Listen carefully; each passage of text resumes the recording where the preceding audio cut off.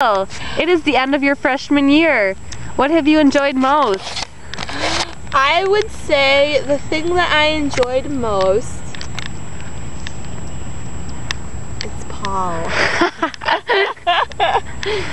Liar. Don't tell him that I'm lying. Look at that loser. Okay. and how have you grown from here to here?